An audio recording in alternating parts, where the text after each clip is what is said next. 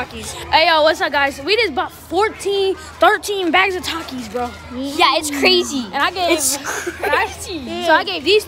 I gave both of them two, Because at our school, I gave him two ring pops. and I gave a little kid one too.